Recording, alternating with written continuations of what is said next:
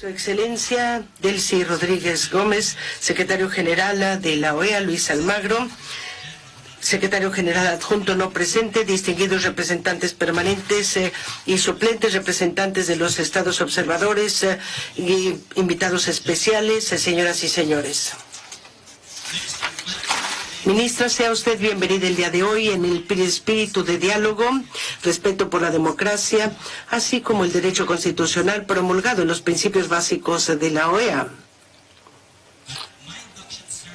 En mi ceremonia de recepción como el presidente el 27 de enero de 2017 como presidente del Consejo Permanente manifesté mi compromiso por el respeto de la Carta Interamericana y otros instrumentos, así como el funcionamiento que se nos ha encargado. Me comprometí a trabajar incansablemente para seguir aprovechando los cuatro pilares de la organización, desarrollo integral, seguridad multidimensional, derechos humanos y democracia. Reiteré en esa oportunidad que no podemos tener desarrollo sin paz y seguridad en nuestro hemisferio. No podemos eh, tener desarrollo económico sostenible sin contar con estabilidad económica y respeto básico por los derechos humanos en todos los sectores de nuestra sociedad que participen activamente en ese mismo desarrollo. Nuestra Carta Democrática reafirma que la democracia es esencial para el desarrollo social, económico y político de los pueblos de las Américas. El Ministerio de las Relaciones Exteriores, eh, eh, representado por usted, ministra, se une a nosotros en un momento importante en que solidaridad y cooperación entre nuestros estados requiere de la cooperación política entre estos estados basado en el ejercicio eficaz de la democracia representativa y crecimiento económico, así como desarrollo social basado en justicia y equidad y democracia en con interdependencia mutua y mutuamente fortalecedores. Es importante el Consejo Permanente porque un debate significativo y diálogo promueve la comprensión y realza la inclusión y la solidaridad, verdaderos principios que están al meollo mismo de la OEA. La aislación y la separación no, no traerán consigo beneficios para los Estados miembros y sus ciudadanos. Por lo tanto, es plenamente pertinente que el Estado al centro de este tema tan de la soberanía, democracia constitucional y Estado de Derecho tenga la posibilidad de tener el derecho a hablar en este Consejo Permanente.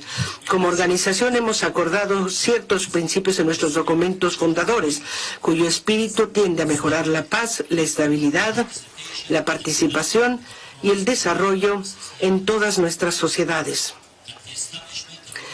En el establecimiento en 1948 de la OEA se vio el beneficio de contar con un órgano que colectivamente estuviera mejor equipado para alcanzar estas metas en vez de hacerlo en forma individual. Los estados y los fundadores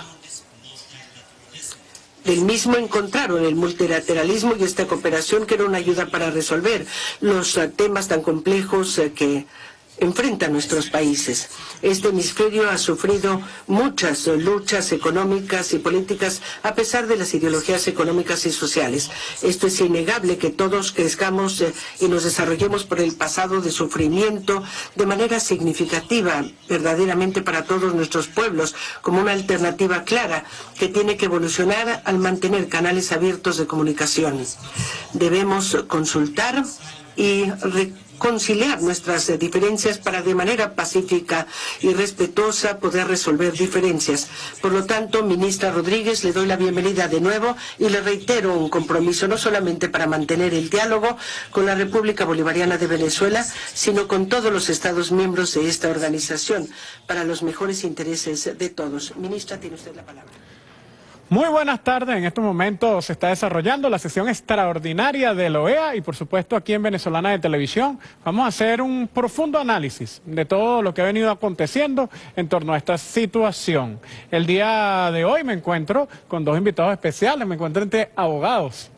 Laila Tayaldine, bienvenida. Muchas gracias. Y el señor Luis Salvador Feo, dos abogados que nos van a ayudar a analizar esta situación que se está realizando la sesión extraordinaria. Inmediatamente nos vamos para la Organización de Estados Americanos, nuestra canciller las del presidente de este consejo. Debo aclarar que Venezuela ha solicitado con satisfacción un consejo permanente el día de hoy.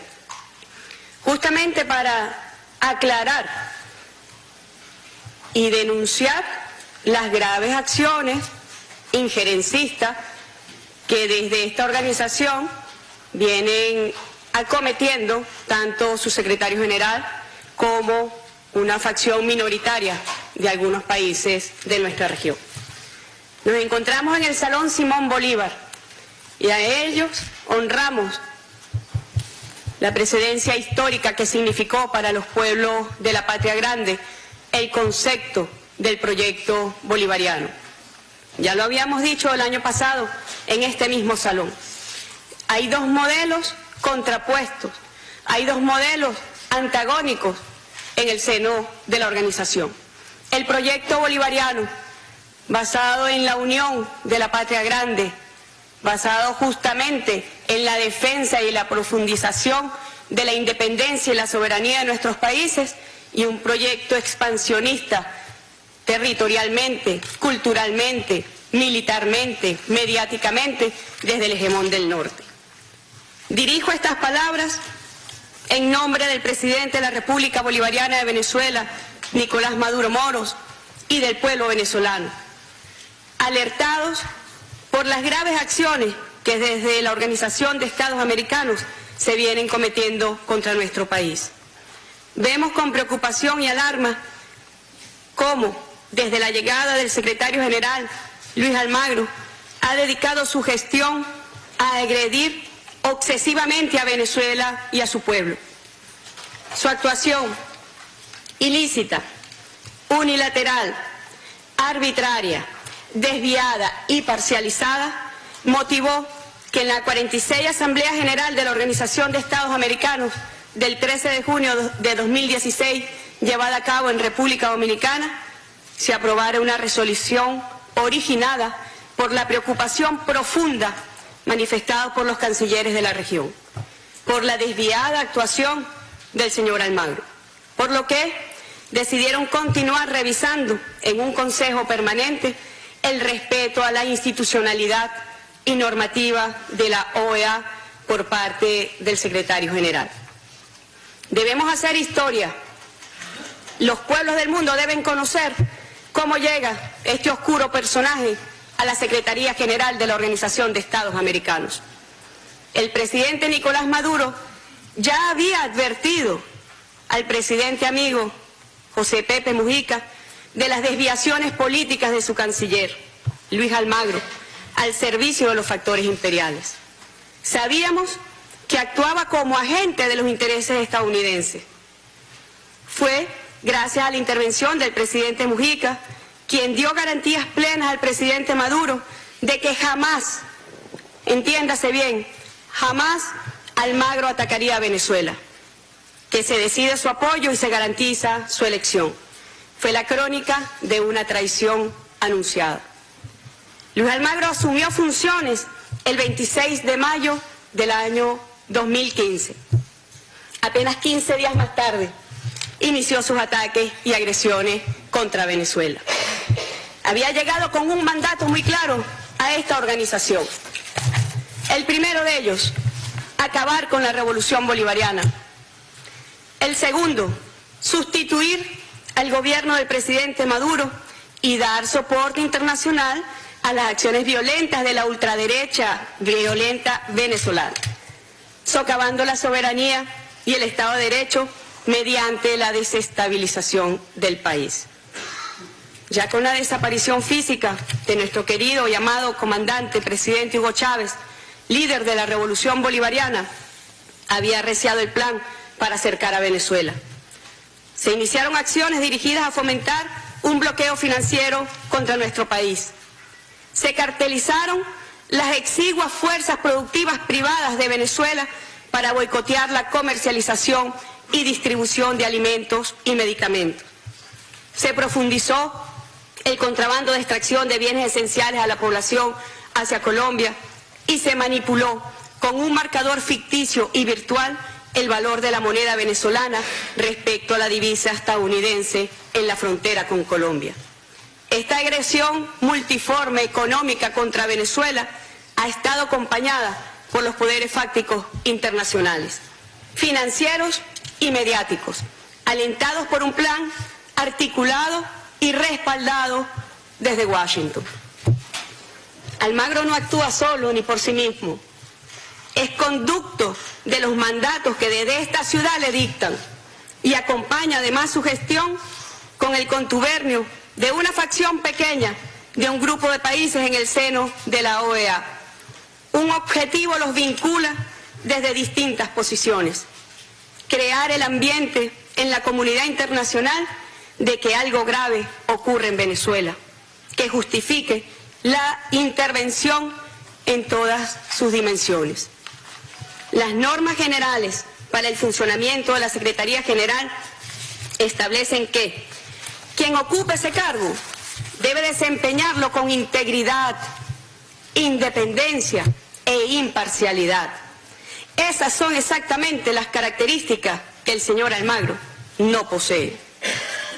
Carece de independencia cuando se somete voluntariamente al servicio del país más poderoso de esta organización y actúa como su agente burocrático, su operador propagandístico, su asistente político y su extorsionador local.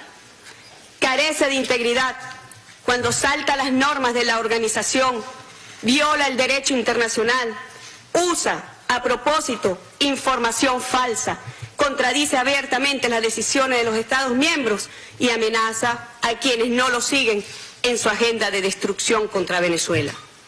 Carece también de imparcialidad, cuando sin escrúpulos organiza una campaña con recursos de esta organización, como no se ha visto en muchos años, para desestabilizar a Venezuela, al tiempo que se hace el ciego ante las enormes violaciones cometidas por el país que le paga su sueldo.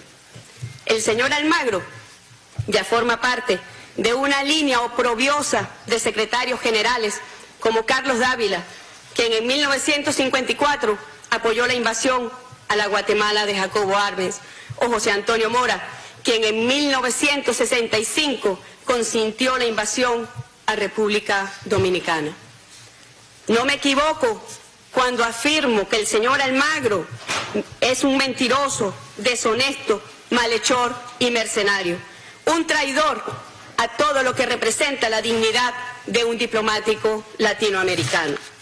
Quiero traer una presentación donde se devela la campaña de quien hoy ocupa el cargo de secretario general en contra de Venezuela.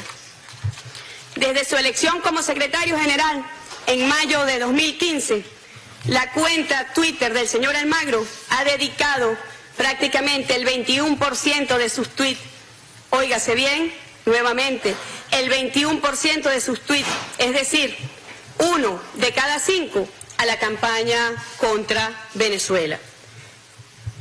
21% de los tweets los dedica a Venezuela y el resto a la agenda hemisférica.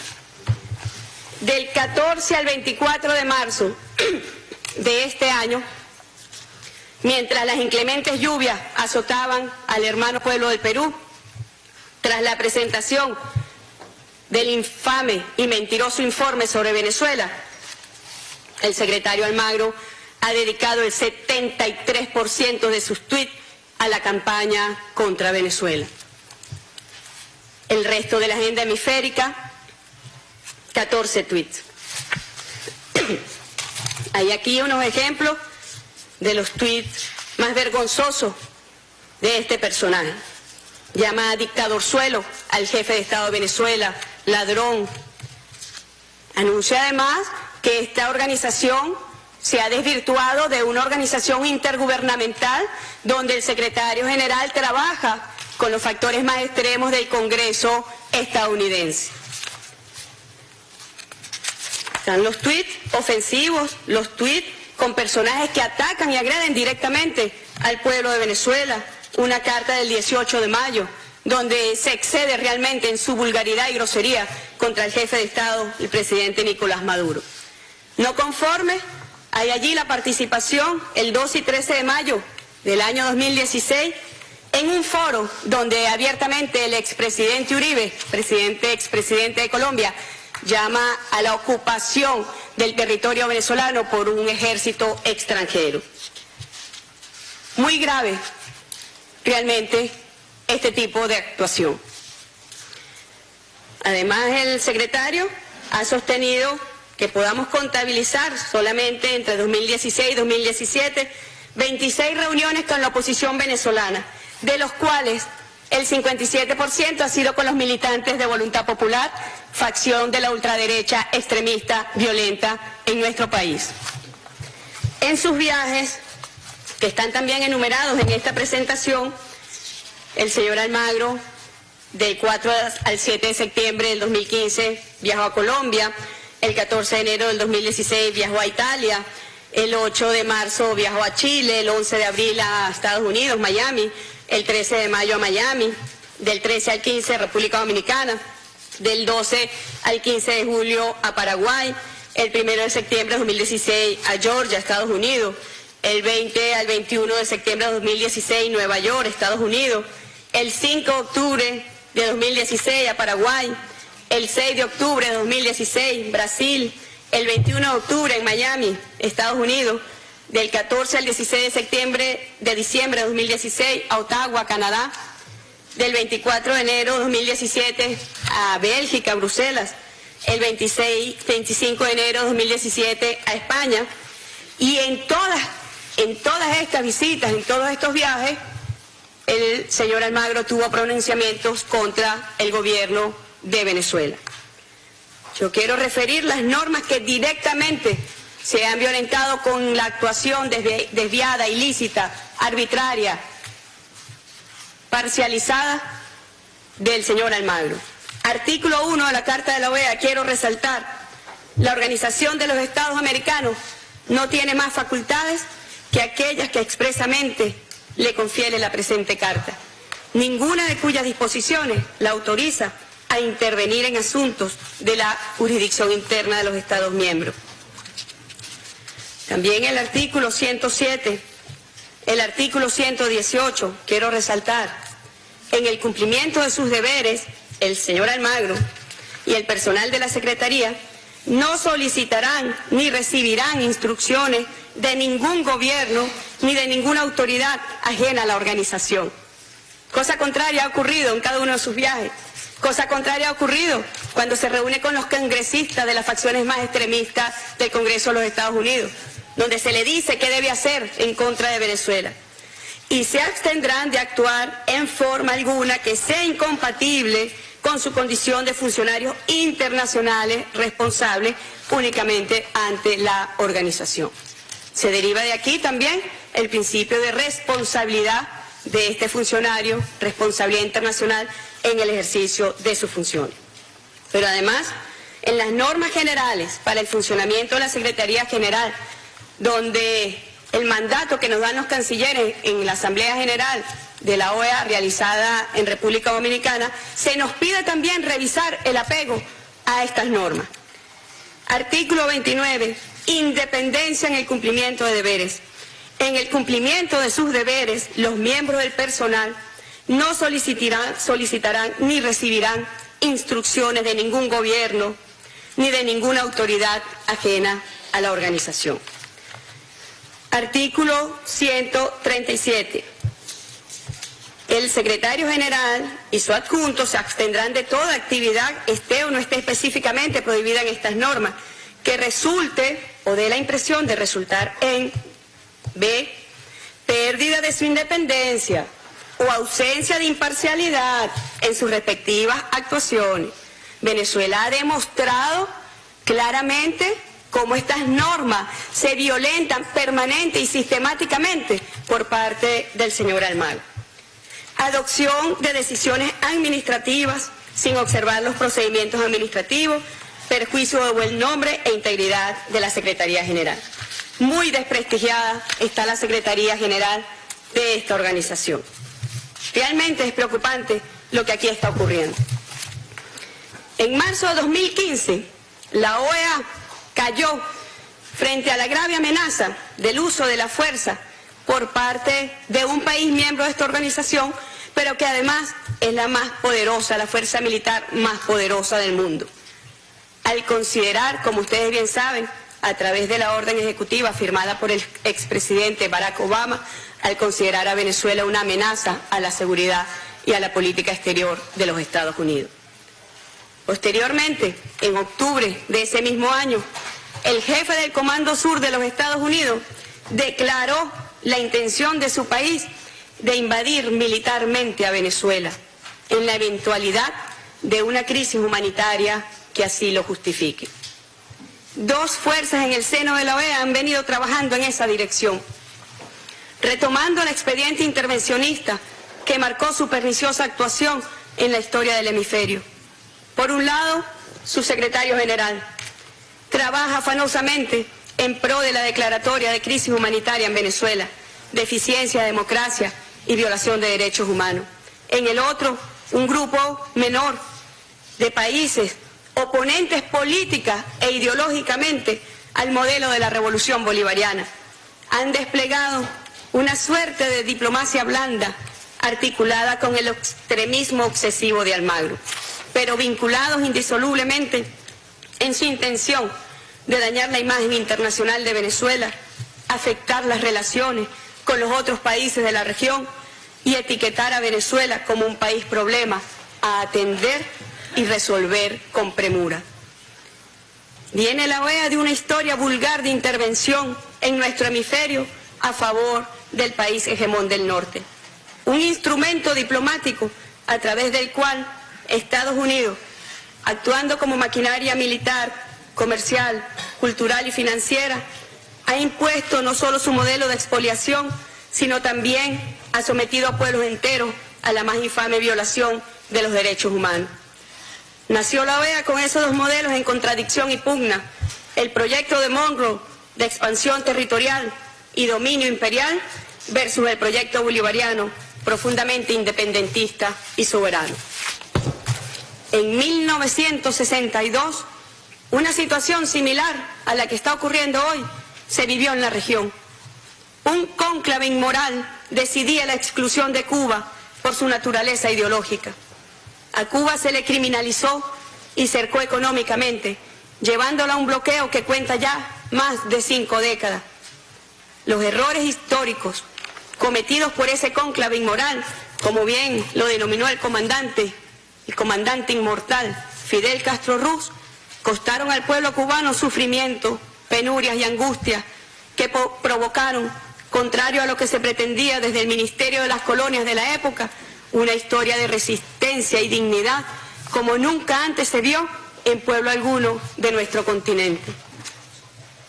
Nuestro homenaje eterno al pueblo de Cuba por su resistencia, por su dignidad, por su valentía, por su coraje, frente a esas pretensiones que hoy pretenden también venirse como fuerzas oscuras contra Venezuela. El silencio cómplice de la OEA avaló casi 50 golpes de Estado en la región desde su fundación en 1948, partida de nacimiento que nació manchada con la sangre del líder de Jorge Eliezer Gaitán, siendo los golpes más destacados el organizado por la CIA contra el gobierno constitucional de Jacobo Arbenz en Guatemala en 1954, el cruel y sangriento golpe de Estado de Stroessner en Paraguay. El golpe contra el presidente Joao Goulart en 1964 en Brasil, en 1973 en la democracia más antigua de nuestro continente para el momento, Augusto Pinochet derrocó de manera sangrienta a nuestro amado presidente Salvador Allende. La OEA nunca condenó, tampoco abiertamente, el golpe contra el comandante Chávez en el año 2002. En el año 2011, ante el golpe parlamentario de que fue víctima Fernando Lugo, este ciclo de oprobio y humillación cierra también en el año 2016 con uno de los capítulos más bochornosos de nuestra historia, el golpe parlamentario contra la presidenta Dilma Rousseff. La OEA avaló abiertamente en 1954 la invasión a Guatemala en el 61 la invasión frustrada a Cuba, en el 65 apoyó la invasión a República Dominicana, en 1983 apoyó la invasión a Grenada. Todas estas cometidas por Estados Unidos con el visto bueno o silencio cómplice de la OEA. Esta organización ha hecho caso omiso a la represión de gobiernos neoliberales contra los movimientos populares, progresistas y de izquierda, así como ante el asesinato de miles de dirigentes campesinos y populares y activistas de derechos humanos. Siendo específico sobre Venezuela, para su información, secretario, en el periodo de la Cuarta República, cuyos líderes usted hoy le da soporte internacional, se contabilizaron más de 10.000 víctimas, de las cuales 459 por desapariciones forzadas y 1.425 asesinadas por motivos políticos, entre los cuales cuenta el oprobioso caso de mi padre, Jorge Rodríguez. La Comisión Interamericana de Derechos Humanos no contiene referencia alguna sobre estos hechos criminales. La OEA, pues, ha devenido en una organización disfuncional que disrumpe con el Estado de Derecho Internacional y socava los modelos democráticos no alineados con los intereses y pretensiones del país hegemón. Se ha hecho imposible transformar la naturaleza injerencista de esta organización, atada presupuestariamente no solo a los Estados Unidos, que aporta el 60% de su presupuesto total, sino también a Europa, que suma el 30% del presupuesto de fondos específicos. Por esta y otras vías inmorales pretenden someter a sus Estados miembros al vil chantaje que desde los centros imperiales amenazan a los gobiernos de la región. El proyecto bolivariano, atávico en las raíces independentistas que le dieron origen, se erige como verdadera amenaza a esta organización. Hoy no se pretende castigar o sancionar a Venezuela. Se procura la desaparición de este modelo que promueve la defensa de la soberanía, la democracia ejercida directamente por el pueblo, la independencia y la autodeterminación de los pueblos, la justicia social inclusiva y la solidaridad internacional como ejercicio de relacionamiento entre los Estados. Amenazamos al sistema de privatización de la educación y la salud porque hoy, con 30 millones de habitantes, somos el quinto país del mundo con mayor matrícula educativa y nuestro sistema público de salud da cobertura a más del 82% de nuestra población. En el 50% del territorio nacional, esta cobertura ya alcanza el 100%. Amenazamos a los monopolios globales de la alimentación porque librando una desigual batalla económica hemos creado un programa popular para apoyar alimentariamente a nuestro pueblo y ya hoy, en apenas un año de creación de este novedoso modelo de distribución y producción de alimentos, alcanza los 6 millones de familias atendidas. Amenazamos la privatización de la cultura porque hemos sembrado Venezuela de música y poesía. Ya 800 mil niños y jóvenes de nuestra patria engrosan el sistema de orquestas sinfónicas más grande y exitoso del mundo.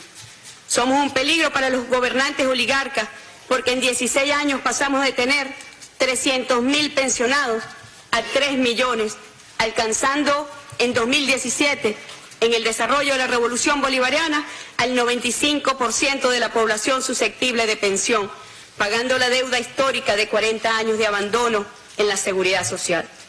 Amenazamos al atroz capitalismo porque democratizamos y transferimos la riqueza del pueblo y le dedicamos el 74% de nuestros ingresos a la inversión social. Afrontando la más brutal conspiración contra nuestra economía, hoy el programa de Naciones Unidas nos ubica entre los países del mundo con un nivel de desarrollo humano alto.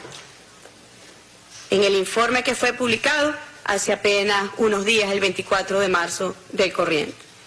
Por encima de casi todas las naciones de este continente. Esto significa, para que se entienda, en este foro, que siete de los 14 países firmantes del ignominioso comunicado de fecha 23 de marzo que amenaza con sanciones a Venezuela posee un índice de desarrollo humano inferior al del país que pretenden sancionar. Mientras Venezuela ocupa el puesto 71, veamos los siete países que forman parte de los 14 que firmaron el comunicado. México se encuentra en el puesto 77. Brasil en el puesto 79, Perú en el puesto 87, Colombia en el puesto 95, Paraguay en el puesto 110, Guatemala en el puesto 125, Honduras en el puesto 130. Preguntamos, ¿algún día se firmará un comunicado para autosancionarse porque su nivel de desarrollo es inferior al de Venezuela? Venezuela hoy está en el centro de la política doméstica e internacional de los Estados Unidos. Por un lado, se ha convertido en una pieza de transacción entre la administración y los factores extremistas del Congreso estadounidense financiados por la ultraderecha y la oligarquía venezolana. Por el otro, ha sido tomada como objeto a negociar entre la nueva administración y los gobiernos de derecha de la región para minorar los temores de este frente a una nueva clase gobernante. Nuestro modelo social de integración entre iguales y de comercio justo es un factor de estabilidad y de paz en este continente. Nosotros queremos resaltar mucho esto, los peligros que encierra seguir adelante con este plan intervencionista y de desestabilización en Venezuela. No se tiene conciencia. Así lo prefiguró el comandante Chávez cuando decía que éramos un factor de estabilidad y diseñó los nuevos mecanismos para la unidad latinoamericana y caribeña. Equilibrio para avanzar colectivamente hacia el bienestar y la justicia social, en medio de las terribles crisis del capitalismo global y depredador. Lo dijo Juan Domingo Perón, el siglo XXI nos encontrará unidos o esclavizados. A pesar de un siglo de saqueo y dominación imperial, el siglo XXI no nos encontró esclavizados. Nos encontró en batalla por la liberación, la soberanía, el derecho que tenemos para construir nuestro propio futuro y por la independencia definitiva de la patria grande. Frente a ese modelo surge como una esperanza en el horizonte para la integración y la unión de los pueblos, la comunidad de estados latinoamericanos y caribeños, la unión de naciones suramericanas, la alternativa bolivariana para las Américas, Tratado de Comercio de los Pueblos y Petrocaribe. Lo que la OEA no pudo construir en diálogo genuino entre los países, en cooperación y internacionales, han sido reivindicados por estos novedosos mecanismos que expresan el espíritu del nuevo mundo pretendido por el libertador Simón Bolívar. Lo imaginó Bolívar, lo soñó Martí y lo forjó Chávez junto a un grupo de líderes y lideresas de todo nuestro continente, el comandante Fidel Castro entre ellos. Esta visión está plasmada allí en la CELAC en el ALBA, en UNASUR, entre Petrocaribe. Y estamos seguros que más temprano que tarde derrotará a las facciones golpistas e intolerantes en el seno del Mercosur. La CELAC nos brindó a nosotros, como una comunidad de naciones latinoamericanas y caribeñas, la declaración que nos blinda como un territorio de paz. El derecho a la paz es un derecho sagrado de los pueblos. Hoy Petrocaribe y el ALBA arrojan extraordinarios resultados a favor del derecho al desarrollo y el beneficio de los pueblos. Yo quiero detenerme solamente a mencionar los logros extraordinarios y más destacados con estos mecanismos. Desde su creación, el 29 de junio de 2005, Petrocaribe y el Producto Interno Bruto que reciben el suministro de hidrocarburos pasó de 143.377 millones de dólares a 216.806 millones de dólares. Esto implica un aumento del 51.2%. Durante el año 2016 se recibieron suministros de 14 millones de barriles por un monto de 800 millones de dólares, de los cuales fueron financiados a largo plazo 300 millones. Luego de estos 11 años de trabajo, se incrementó también la capacidad de almacenamiento de hidrocarburos en la región a 652 mil barriles y la capacidad de transporte marítimo a 980 mil barriles. Se cuenta con la estructuración de un circuito de refinación propio, caribeño, con capacidad de procesamiento de 135 mil barriles día distribuidos entre Jamaica, Cuba y República Dominicana. Hemos alcanzado además 350 mil millones barriles de petróleo que corresponden a una factura de 30.933 millones de dólares. A cerca, cerca de la mitad forma parte del financiamiento a largo plazo. En cuanto a la generación eléctrica, se ha incrementado la generación eléctrica en 447 megavatios distribuidos en Haití, San Cristóbal y Nieves, Jamaica y Nicaragua. Se han financiado también fuentes alternativas de energía con un parque eólico en Nicaragua, uno en Jamaica y uno generadores de baja potencia y paneles solares.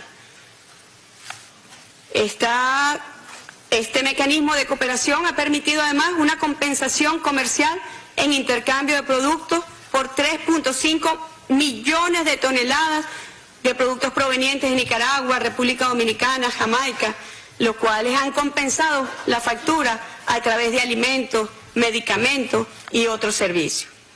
En la gestión social, escúchese bien, algo que no le gusta mucho al modelo neoliberal ni a las oligarquías de nuestra región, se han desarrollado 757 proyectos que suman una inversión cerca de los 7.5 mil millones de dólares, el 60% dirigidos a proyectos de generación, distribución, electricidad y vialidad. Logros conjuntos de Petrocaribe y ALBA. En la misión Milagro hasta el momento se han atendido 3.642.623 personas con problemas de salud visual. Se ha atendido también un total de 1.285.087 personas con discapacidad. Se han otorgado 1.075 ayudas técnicas y enseres y se han realizado gratuitamente 2.030.000 consultas médicas a personas con discapacidad. En el cardiológico infantil de Venezuela se han recibido pacientes de la región que alcanza a 10.446 intervenciones. Se ha alfabetizado un total de 3.815.092 personas en la región. Y de esas 3.815.000, 1.174.000 personas culminaron su educación básica. Queremos además destacar que de la mano de Cuba se ha declarado territorios libres de analfabetismo, Antigua y Barbuda, Bolivia, Cuba, Nicaragua, Venezuela. Esto es lo que constituye la visión del nuevo mundo de nuestro libertador, que fue retomado por los grandes héroes de nuestra patria, de la patria grande, que fue retomado por el comandante Hugo Chávez, por el comandante Fidel Castro. Este modelo surge como una esperanza en el horizonte para la integración y la unión de los pueblos. Distinguidas delegaciones, queremos repudiar en toda su extensión la estrategia adelantada por el señor Luis Almagro y los infames adefesios manifiestos en el informe contra Venezuela presentado el 23 de junio de 2016 y el informe que fue presentado hace apenas unos días en esta organización. Llamo su atención sobre la patraña organizada entonces por el secretario en contubernio con un pequeño grupo de países. Nuevamente una facción minoritaria en el seno de la OEA que engañaron y manipularon a los países al decir que Venezuela no sería sancionada ni se activaría la Carta Democrática contra el país, sino que se escucharía la lectura del informe por parte del secretario general. El resultado fue conforme a las normas de la organización. Se tomó nota no solo de la lectura del informe, sino también de las intervenciones solidarias con Venezuela, su gobierno y su pueblo. Traducido del argot diplomático, esto significa que se engavetó. Sin embargo, Almagro, la oligarquía venezolana y la derecha continental vendieron la falsa especie de que se había activado la Carta Democrática contra Venezuela, activando la participación de los sectores extremistas y violentos venezolanos contra el diálogo promovido por el presidente Maduro, acompañado por UNASUR, el Santo Padre, los expresidentes Fernández, Torrijos y Zapatero, y diálogo que contó también con el respaldo mayoritario de los países de esta organización. Almagro se convirtió en un militante contra el diálogo en Venezuela. Tenemos las pruebas. Se comunicaba directamente con la oposición venezolana para decirle no dialoguen porque la Carta Democrática la hemos activado. De esta forma ha contrariado sus esenciales funciones como funcionario con responsabilidad internacional. Quiero desde esta tribuna agradecer la carta que como canciller recibí el día de hoy por los expresidentes Zapatero, Torrijos y Fernández reafirmando su compromiso con el diálogo en Venezuela. Agradecemos también los honestos apoyos, sin enmascaramientos, demostrados por la mayoría de los países de la región a favor de un diálogo fructífero en nuestro país. Por este precedente y la campaña feroz desatada contra Venezuela, es que alertamos a la comunidad internacional de no dejarse engañar bajo la falsa máscara de que no se quiere agredir o sancionar a Venezuela, que solo se quiere discutir sobre la situación del país. Yo me pregunto, ¿qué tipo de situación? La que han venido construyendo con sus agresiones multiformes a la economía venezolana para causar penuria y sufrimiento contra un pueblo, tal como se hizo contra Cuba en 1962 y contra Salvador Allende en 1973 para propiciar su derrocamiento. A pesar de este plan macabro contra Venezuela, contra el pueblo venezolano, Almagro y este reducido grupo de países dirigidos desde los centros imperiales de poder han obviado los positivos informes que agencias especializadas de las Naciones Unidas, como UNICEF, FAO, PNUD, entre otros, han presentado sobre Venezuela, la cual aprobó recientemente su examen periódico universal con destacados reconocimientos a su modelo de derechos humanos. No han podido con Venezuela, no podrán con Venezuela. El segundo informe emitido por Luis Almagro, violando las normas más elementales de esta organización, no se trata de una actualización, sino de la composición de una estrategia compleja de intervención con acciones inmediatas a mediano y a largo plazo.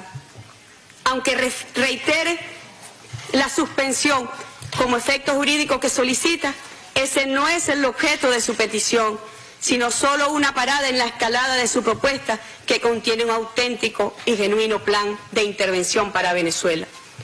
Alertamos al mundo que dicha intervención no sería ya solo para derrocar al gobierno constitucional del presidente Nicolás Maduro, sino para desarrollar un esquema de intervención complejo, es decir, no solamente implantar otro gobierno, para satisfacer las aspiraciones de los sectores opositores, sino también permitir que la intervención desarrolle todos los cometidos que él traza.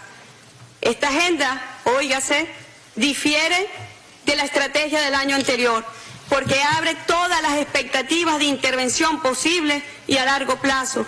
Ya se trata del abandono del modelo exitoso de derechos humanos de Venezuela por la implantación de otros acorde con la estrategia y arremetida neoliberal que hoy priva en la región, que pretende devolver a la pobreza a millones de ciudadanos a favor del beneficio de las exclusivas oligarquías que hace de nuestra región una de las más desiguales del planeta. En este contexto, Venezuela y Uruguay, país de origen del secretario general, comparten el primer puesto en la región como uno de los países menos desiguales de nuestro continente. Instamos a esta estrategia, se suman las acciones del grupo de 14 países que suscribieron un ignominioso comunicado de tenor altamente injerencista y que promueve el infame informe de Almagro, así como la espuria convocatoria de un Consejo Permanente para abordar la situación de Venezuela el día de mañana, sin contar con el consentimiento del país concernido. Instamos a estos estados a demarcarse de este plan intervencionista y desestabilizador dirigida desde el país hegemón del norte contra nuestra patria. Se han violentado con esta convocatoria espuria normas fundamentales de la Carta de la Organización de los Estados Americanos y normas esenciales en el, proceder, para convocatoria de reuniones de este tenor. Es una organización a la deriva y sin brújula institucional. El descarrilamiento absoluto de sus normas viene de un pasado nefasto y construye el fracaso futuro. Hace apenas unas horas, el Tribunal Supremo de Justicia de la República Bolivariana de Venezuela emitió un acuerdo donde insta al Gobierno Nacional a solicitar la remoción de Luis Almagro en una Asamblea General según el artículo 116 de la Carta de la OEA. Igualmente le exige al secretario general respetar el diálogo que se viene desarrollando en la República Bolivariana de Venezuela.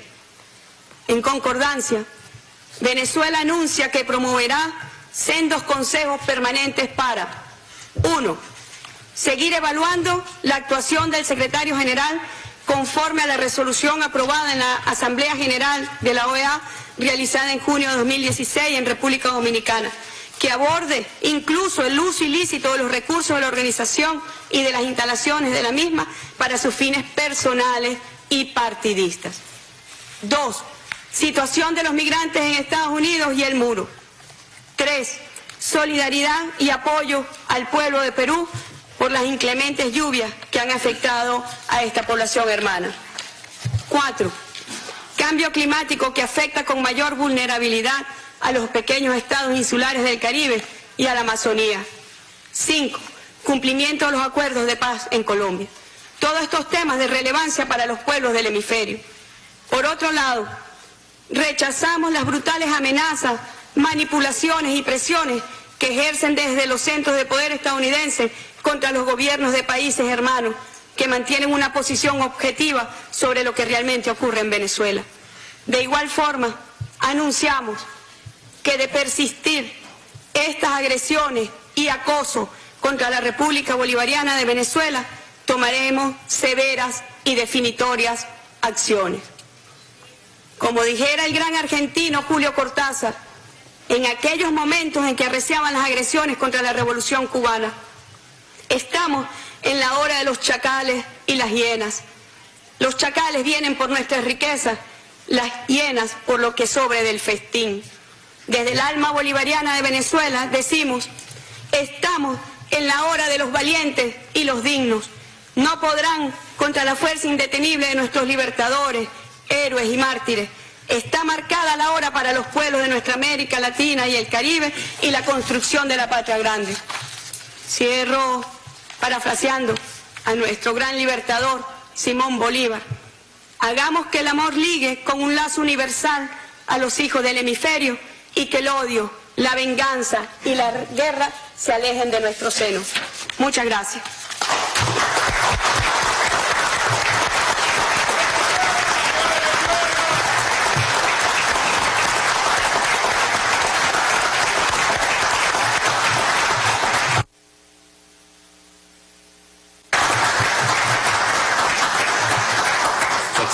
Muchísimas gracias por su presentación.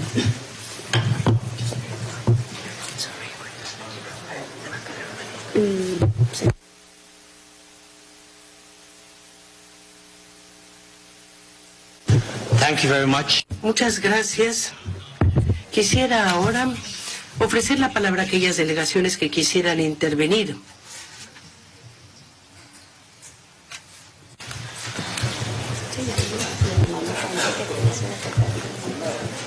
Paraguay, you have the floor. Paraguay tiene la palabra.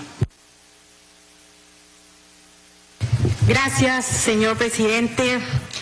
En primer lugar, quiero hacer una aclaración de que el, juicio, el supuesto golpe de Estado del 2012 al que hace referencia la canciller fue un juicio político constitucional.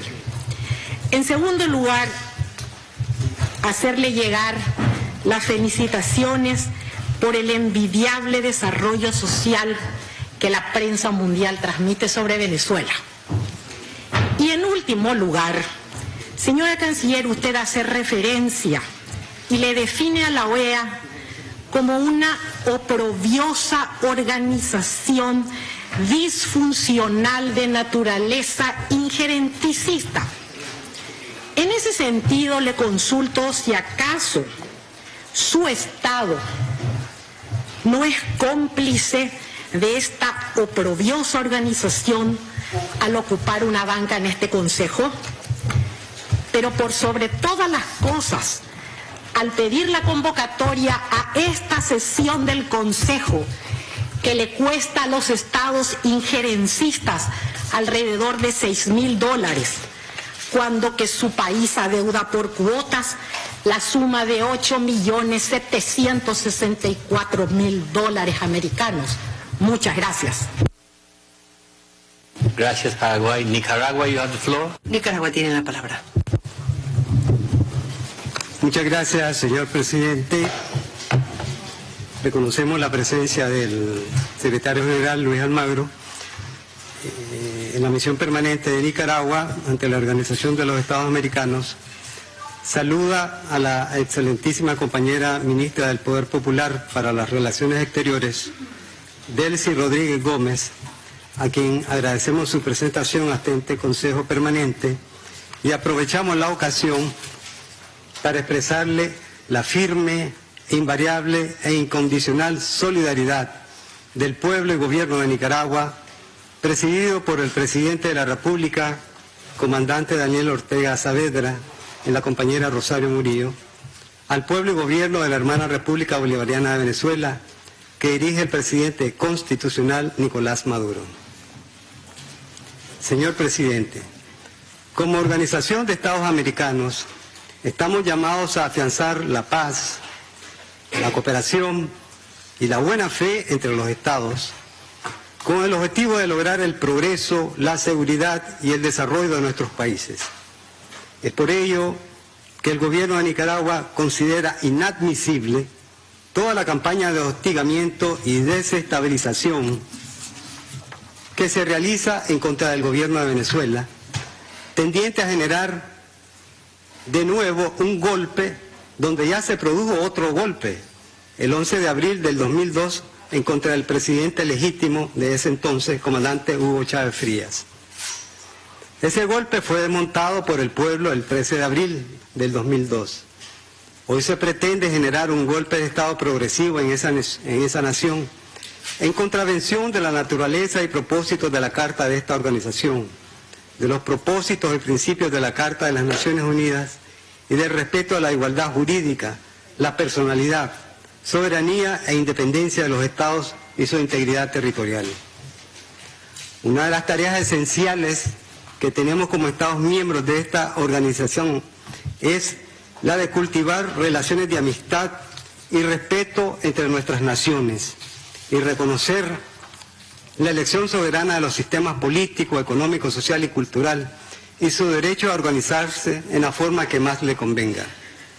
Estos principios que logran mantener el equilibrio regional entre nuestros países no pueden ni deben tener un doble estándar ni hacer excepción de ningún Estado.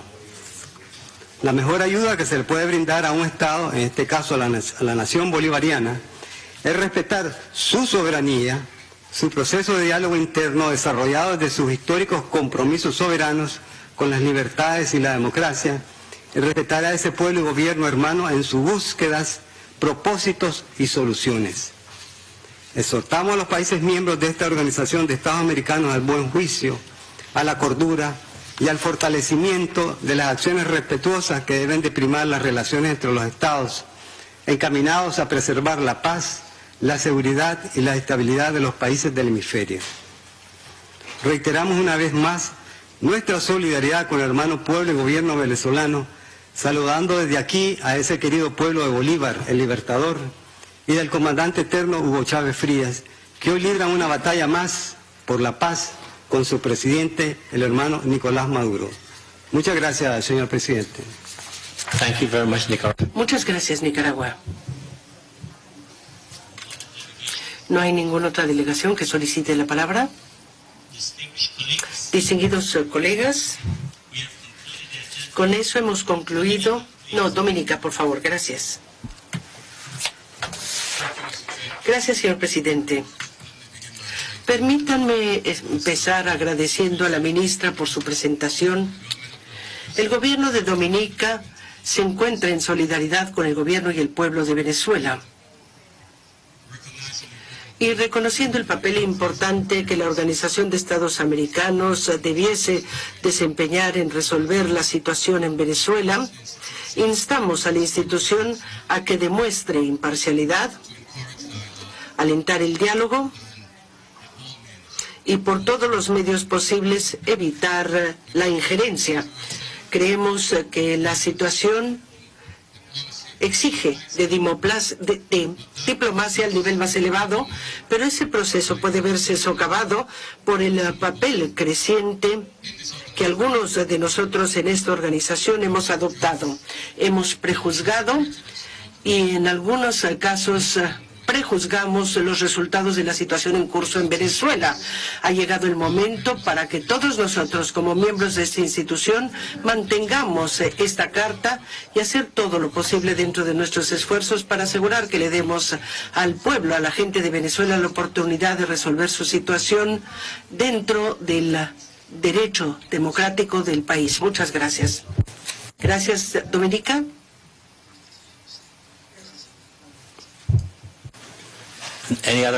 ¿Algún otro comentario? Si no, le ofrecemos a la ministra la oportunidad para que haga una intervención adicional. Bolivia tiene la palabra antes de eso. ¿Tiene la palabra Bolivia?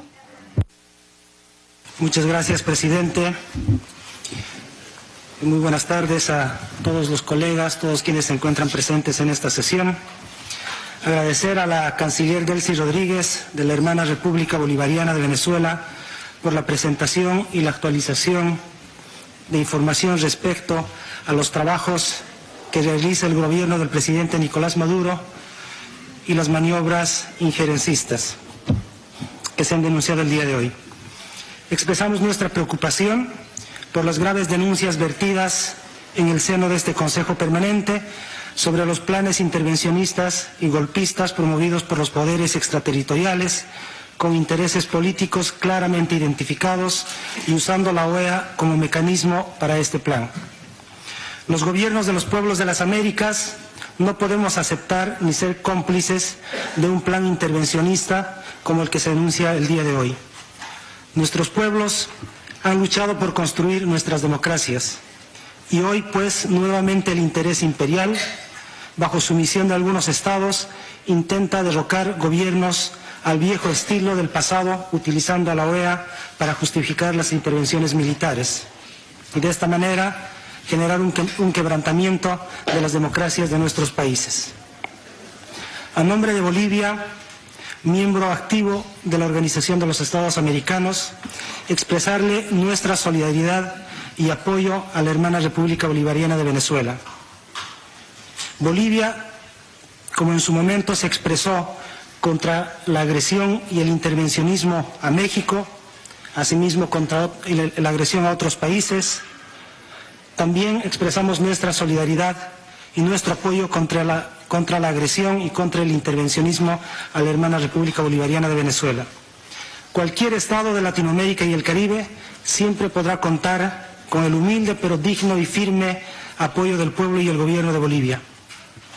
De la misma manera, queremos dejar en claro que las opiniones vertidas y los documentos publicados por el señor Armagro no representan la opinión de nuestro país y consideramos que tampoco representan la opinión de, los estados, de la Organización de los Estados Americanos. No podemos desconocer que cada uno de nuestros países en diferentes ciclos enfrentan una serie de dificultades. Estas dificultades deben ser resueltas sobre la base del diálogo y la concertación, porque Latinoamérica y el Caribe somos una región de paz. Es lamentable que una organización como la OEA, motivada por las acciones golpistas de su secretario general, sea parte del conflicto y no parte de la solución.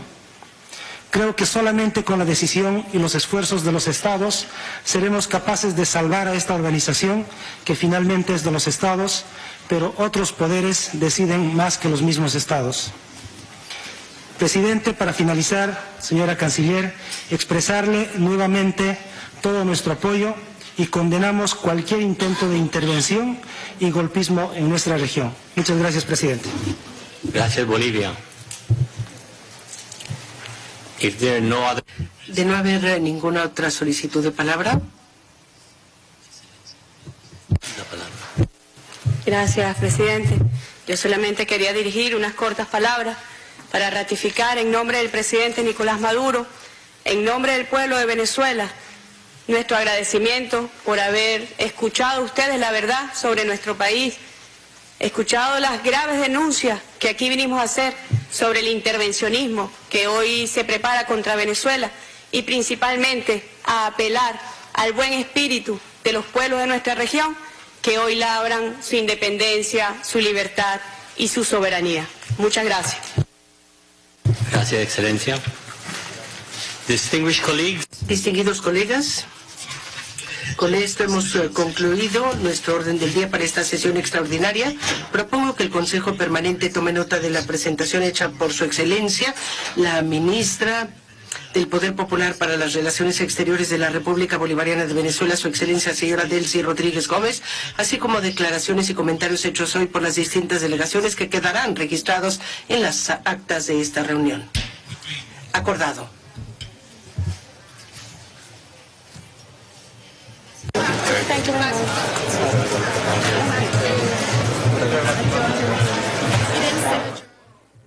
Continuamos aquí en el estudio de BTV. Esas fueron las palabras de nuestra canciller Delcy Rodríguez, quien se refirió de manera política, jurídica e histórica al expediente de la Organización de Estados Americanos. También se refirió al señor secretario general Luis Almagro, quien, bueno, le hizo un historial de todo lo que ha venido realizando el señor desde que asumió, 15 días apenas asumió la Secretaría de la Organización de Estados Americanos en actividad permanente contra Venezuela. Fueron casi media hora de palabras de nuestra canciller que le dedicó a todos los estados. Se escucharon las palabras de solidaridad del pueblo de Nicaragua, de la OEA, de Dominica. Y el día de hoy, bueno, nos encontramos aquí con unos invitados y una invitada especial quienes van a deliberar sobre este tema que está sin lugar a duda en la palestra y que es de singular importancia, porque se hicieron gravísimas declaraciones en la Organización de Estados Americanos. Se trata de Leila Tallardine, de Luis Salvador Feo, ambos abogados. Leila, bienvenida. Cuéntanos, ¿qué opinión tienes sobre las declaraciones de nuestra canciller Delcy Rodríguez? Bueno, ante todo tenemos que calificar estas declaraciones como argumentativas, contundentes y dignas que representan lo que ha sido la historia del pueblo venezolano. Y yo creo que no solamente este, representa esa dignidad del pueblo, sino también la dignidad de toda Latinoamérica, toda la América internacional, asuntos que tienen que ver con el pueblo estadounidense que hoy está siendo excluido este, y bueno, y execrado por esas políticas de gobierno. Tenemos que decirlo que hoy nuestra región se sintió representado los mártires de nuestra región que también fueron silenciados por esa organización de Estados Americanos, pues se pueden sentir representados en esa voz de nuestra canciller. Volvemos a decir una voz que representa la dignidad del pueblo y que también como tú dijiste, enumera lo que ha sido la historia del apoyo a las intervenciones y a las masacres desde la Organización de Estados Americanos. Vemos también cómo este, se denuncia, nuestra canciller denuncia dentro de la organización el intentar darle carácter institucional a, ese, a esa intención injerencista por parte de Estados Unidos. Entendemos que fue un gran costo político eh, internacional para Estados Unidos el hecho de haberse ido a una intervención, una invasión en Irak sin el apoyo de la Organización de Naciones Unidas y por eso que ellos intentan siempre apoyarse de los organismos regionales, de los organismos internacionales para justamente este, ellos decir que están actuando sobre la base de la decisión o de un consenso regional y por eso es que ellos actúan e intervienen. Y así estamos viendo que se quiere utilizar para eso, se quiere utilizar esa decisión de la Organización de Estados Americanos de aplicación de una Carta Democrática que eh, realmente lo que afectaría a Venezuela no es la propia aplicación de la Carta Democrática, sino lo que vendría después y en qué se sustentaría Estados Unidos para luego eh, profundizar aún más una guerra económica, una desestabilización e incluso una posterior intervención que estamos viendo de la que Estados Unidos está acostumbrado a realizar. Y eso es importantísimo, Luis, que lo hablemos. ¿Qué vendría posteriormente, luego de una medida como esta que está intentando, como lo dijo la canciller Rodríguez, una minoría dentro del seno de la Organización de Estados Americanos? ¿Qué vendría de aprobarse una Carta Democrática contra Venezuela? ¿Cuáles, qué, qué acciones vendrían después de esto? Eso es bueno desmenuzárselo a la gente que nos está escuchando. Bueno, se, piensa activar, es una especie de, oprimir un botón y, se enciende un aparato, ¿no? y realmente eh, la activación de la carta supone en principio que 18 países integrantes del Consejo Permanente, eh, digamos, den visto bueno, el visto bueno al informe que presentó el secretario general en principio, ¿sí? Eh, para iniciar propiamente las sesiones y así analizar a, a, profundidad la situación del país, que en este caso es el nuestro. Posteriormente, en dado caso que el Consejo Permanente constate la, la, digamos, la, lo que están denunciando, que es la alteración del orden constitucional nuestro, es que podría proponerse ante la Asamblea General la, eh, digamos, el establecimiento de sanciones, ¿ya, ¿no? ¿Sí? Este, se requerirían dos terceras partes de los miembros de esa Asamblea. En principio, ya hablando políticamente, eh, en, en, este momento es prácticamente imposible que se nos pueda activar la carta, ¿sí? Y, que se, y mucho menos que se nos puedan establecer ese tipo de sanciones, ¿no? Eh, sin embargo, lo, yo no me refiero tanto a lo que viene luego, porque precisamente es lo que, que se no busca, veo, ¿no? Que se busca que entonces. Es lo que no veo. Yo, lo, yo más prefiero irme a principios, del dos, a finales del 2001, perdón, cuando se aprueba la Carta Interamericana. Eso fue creo que en septiembre del 2001. En octubre del 2001 arranca todo ese proceso que inició Fede Cámaras, y luego se sumó la CTV, la Conferencia Episcopal, los medios de comunicación, y que concluyeron en una primera fase con el golpe del 11 de abril. A partir de ese momento, todos los voceros, que son los mismos voceros de hoy en día con unos cuantos años más, pero no los voy a mencionar, pero ya sabemos cuáles son, desde aquel momento están pidiendo, están invocando la aplicación de la Carta Interamericana. Si todas esas ONG que se crearon en ese momento, aquellas ONG que se transformaron en partidos políticos, si el argumento, o mejor dicho, la campaña, el lema que utilizaron desde aquel entonces es precisamente la aplicación de la Carta. Transcurre todo este tiempo, bueno, ganamos elecciones, hemos tenido picos de, altos niveles de desarrollo. El presidente Chávez logró, eh, no me acuerdo ni cuántos votos en 2006, 7 millones. Bueno, imagínate todo lo que ha pasado. ¿Sí? Fallece el comandante en el 2013, gana el presidente Maduro, seguimos este proceso, comienza una arremetida mucho más dura. Este, y luego llegamos al mismo escenario del 2002. ¿sí? Quieren de nuevo, se invoca, pero ahora tienen un secretario general que es, eh, digamos, un, un, títere mucho más activo, ¿sí? Y que está promoviendo, que es el, el, que tutela la campaña, la dirige, eh, va a todos los países, ¿no? sí está en permanente campaña, pues es un candidato presidencial. De pronto esa es la aspiración que tiene en su país en el futuro, no sé si eso lo, sea, en alguna relación tendrá esta campaña que tiene hoy en día, ¿no? Este, entonces, bueno, llegamos al mismo escenario, se nos quiere aplicar de nuevo la carta, da, está dada la imposibilidad de que así sean el, posteriormente.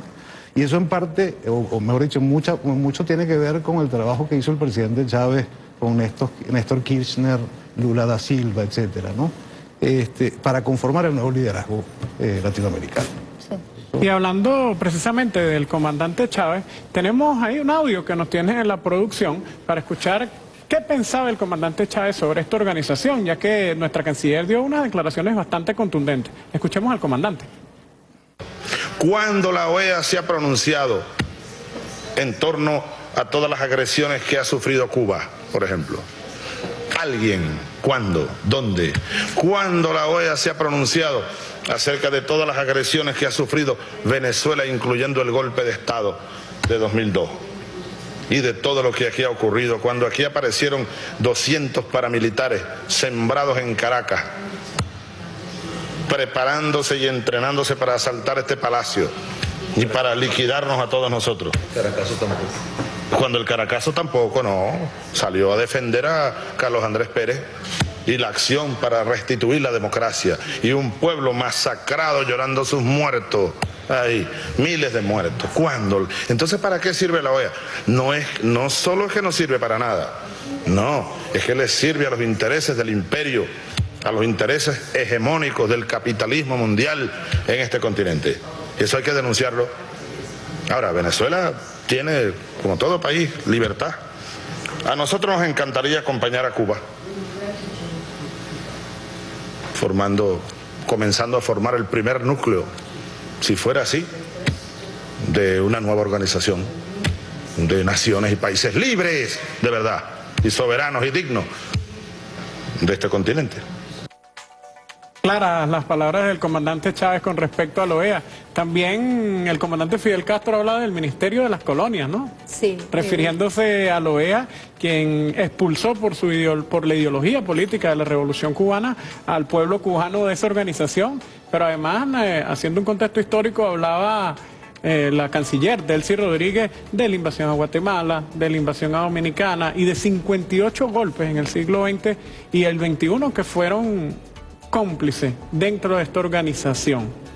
Desde el punto de vista jurídico, la cancillera hablaba de que se están rompiendo algunas reglas, reglas dentro de la OEA, dentro de las Naciones Unidas, y que la actuación del canciller Luis Almagro va en contra, por ejemplo, del reglamento de la Secretaría General de la Organización de Estados Americanos. ¿Nos puedes ampliar un poco sobre eso, Laila? ¿A qué se refería? Eh, ¿Por qué se dice que está usurpando incluso recursos, que está utilizando recursos de la organización para sus intereses personales? Bueno, este, viéndolo también en cifras, ¿no? Como ella demostró que el 20% de todos los Twitter que estaba publicando el secretario general de la organización iban dirigidos a Venezuela.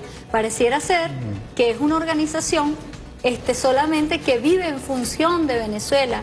Y ciertamente, claro que se puede vivir en función de Venezuela, porque lo que intenta toda esa organización, eh, y nos referimos ahí a lo que es la cúpula, al espíritu que realmente ha representado, es el de derrocar una revolución que se levanta en contra no solamente de la historia de esa organización, sino los que realmente manejan esa organización, que es Estados Unidos y es toda su trayectoria. Tú hablaste del elemento jurídico y justamente dentro eh, de las resoluciones, el reglamento de la Organización de Estados Americanos, específicamente ella señalaba el artículo 118, donde decía de que el secretario general no puede atender mandato de una organización o estado ajeno a esa organización y justamente vemos cómo procede en función a lo que el Senado de Estados Unidos le pidió, la actuación y la activación de la Carta Democrática, pero también las reuniones con agentes eh, de la derecha en Venezuela que van a pedir la intervención en Venezuela. Mira, yo creo que es muy importante detenernos aquí, considerando toda esa clase que nos dio y les dio la ministra este, allí de que, que cómo actuó la Organización de Estados Americanos en la historia, cuando entró a hablar o cuando opinaba sobre los países y decidía sobre los países, sobre qué opinaba. Y justamente es para llevarle daño, guerras, muertes a las poblaciones. Entonces, cuando nosotros vemos a un vocero de la derecha pidiendo que la OEA intervenga, que la OEA aplique la Carta Democrática, lo que le están pidiendo es que siga llevando la muerte, los daños a Venezuela en este caso. En la vida, un país no había, o por lo menos eh, no había escuchado de forma manifiesta y descarada una oposición tan vendepatria, pero también eh, una oposición que realmente en nada, en nada le importa el futuro del pueblo venezolano. Lo ha demostrado en los últimos años, pero asienta aún más el carácter irresponsable de la oposición, justamente pidiéndole a una organización que ha servido para darle carácter institucional a esa historia de intervención, a esa historia genocida de Estados Unidos, pero también siempre acompañado con otros miembros de la organización. ¿Qué hubiera sido de las Malvinas si realmente desde la organización se hubiera organizado y hubieran eh, determinado enfrentar al Reino Unido frente a lo que fue una invasión? Pero siempre tuvimos no solamente Estados Unidos impidiéndolo, sino también otros países serviles a sus intereses que impidieron una actuación cohesionada por parte de la organización para evitar justamente una intervención y una violación territorial.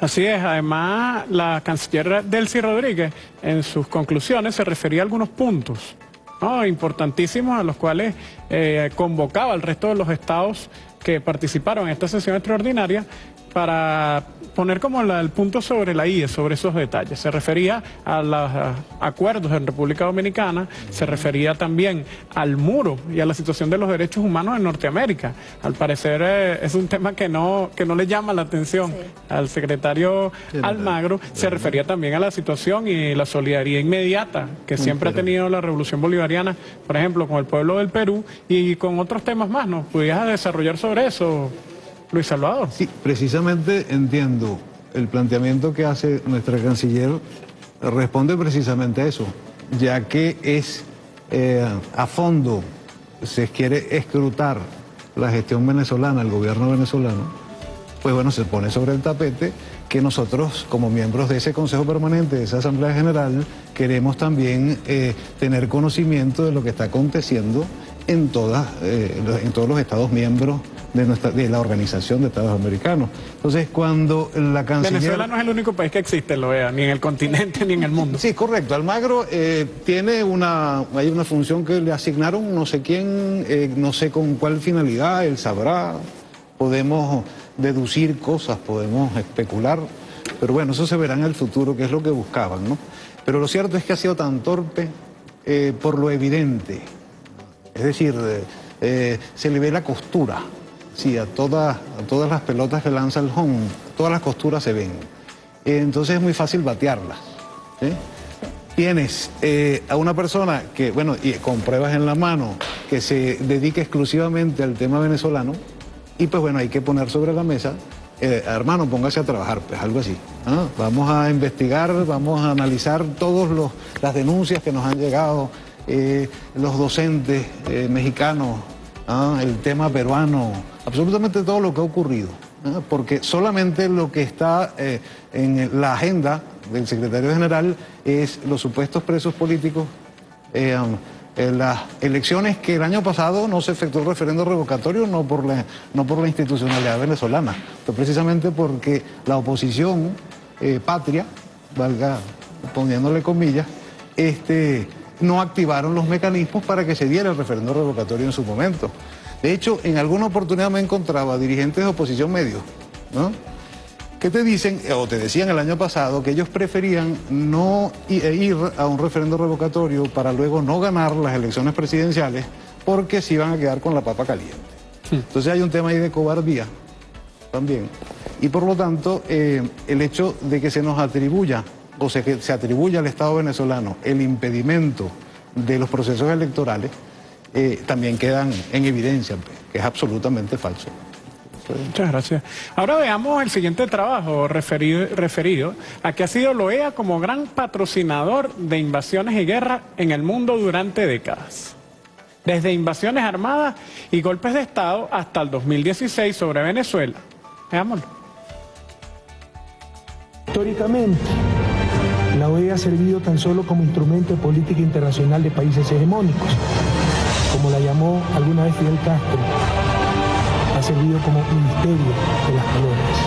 La organización fue fundada en 1948 con el objetivo de lograr entre los estados que la integran un supuesto orden de paz. Sin embargo, ante sus recurrentes desaciertos, es necesario preguntarse, ¿cuál ha sido el verdadero papel de la OEA en el hemisferio?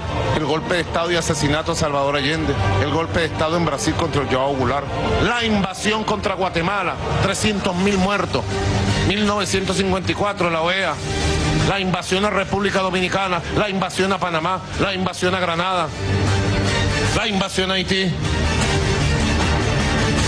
la guerra contra Nicaragua, la invasión a Cuba. Una vez más, la oposición ha solicitado ante este organismo la aplicación de la Carta Democrática Interamericana. Luis Almagro, secretario general, plantea publicar una versión actualizada de su fallido informe de 2016 sobre Venezuela. Breve resumen sobre el papel que ha tenido la OEA de injerencia en nuestro continente. Ya casi estamos cerrando este análisis que estamos haciendo con estos dos invitados de lujo que tiene BTV el día de hoy aquí, dos abogados, una abogada.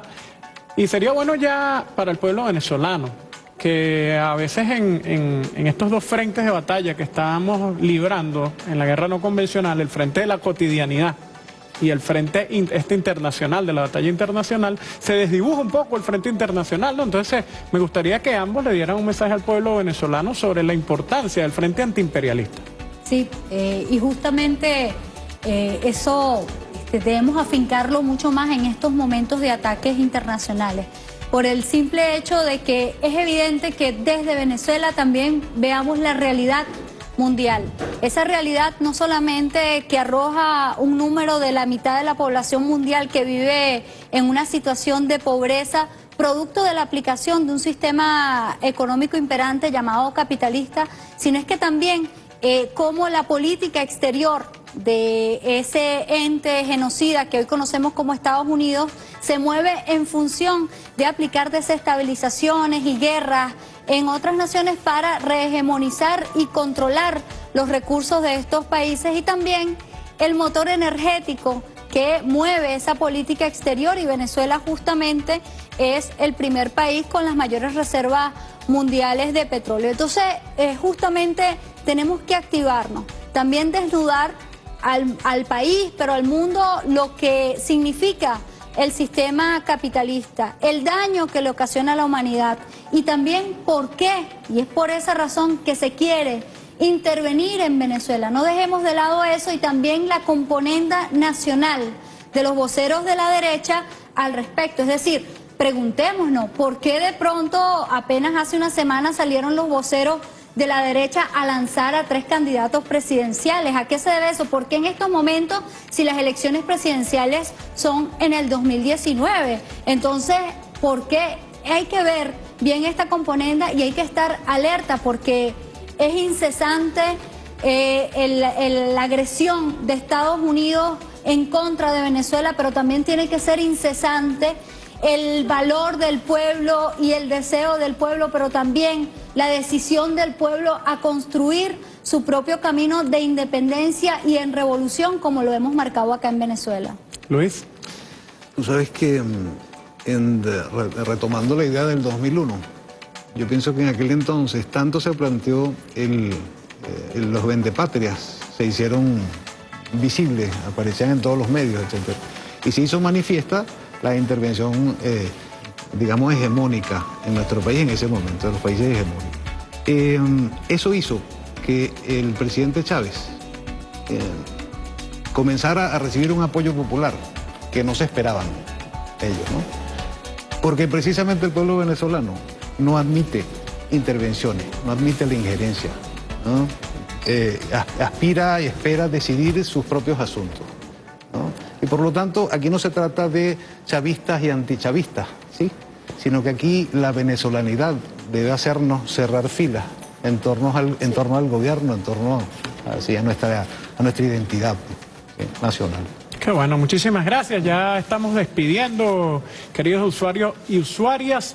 Yo para despedirme quiero recomendar este libro que nos ayuda a comprender el Frente Antiimperialista que está librando la Revolución Bolivariana. Es un libro extraordinario que se llama Geopolítica y la Liberación, el siglo XXI de Chávez, de Julio Escalona. Es un extraordinario libro que nos ayuda a comprender eh, ese frente antiimperialista y todo ese proceso de batalla geopolítica que libró nuestro comandante, que sin lugar a dudas tiene sus consecuencias el día de hoy. Muchísimas gracias por estar con nosotros y nosotras.